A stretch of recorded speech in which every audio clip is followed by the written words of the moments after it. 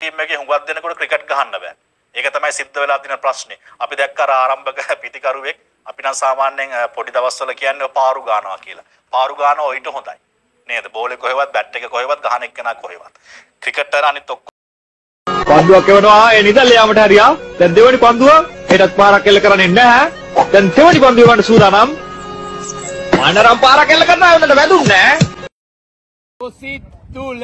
මෙත්මල් පිපි දේවා සිත්තුල කරුණ ගුණ දේවා. සිත්තුල මෙත්මල් පිපි දේවා සිත්තුල හයකුත් ඇතිරේවා. ඉඩ ඉඩ. හයකුත් අඩෝ කහපා බබා ක්‍රිකට් මැච් බලනවාද? ඇයි? ඉතාලකින්නවා අද මැච් එක මොනවා වෙයිද? දන්න දන්නේ?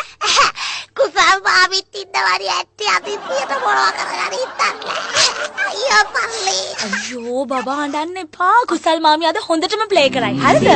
මේ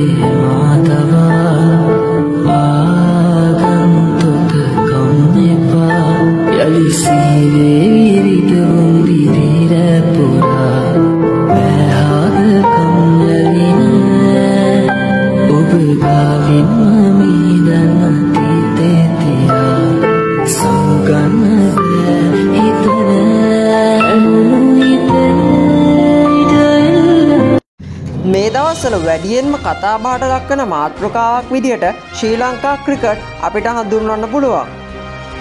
මෙලෙස දිගින් දිගටම තරඟ පරාජයට පත්වීම පිතිකරණය අසාර්ථකවීම පන්දුරකීමේ අසාර්ථකවීම ඒ වගේම පන්දු යැවීමේ අසාර්ථකත්වය පමණක් නෙවෙයි.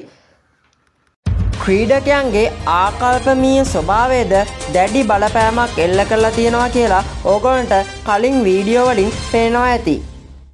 ශ්‍රී ලංකා ක්‍රිකට් යළි අවධි කිරීමට යළි බලගැන්වීමට නං දේශපාලනයට බැනබැනිඳල හරියන්න නෑ ක්‍රීඩකයන්ගේ ආකල්පමීය හැඟීමද අපේ උසස් කරන්න ඕනේ.